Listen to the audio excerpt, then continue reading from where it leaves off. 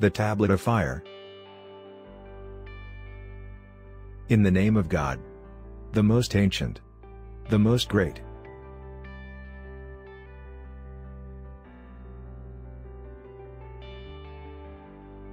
Should all the servants read and ponder this?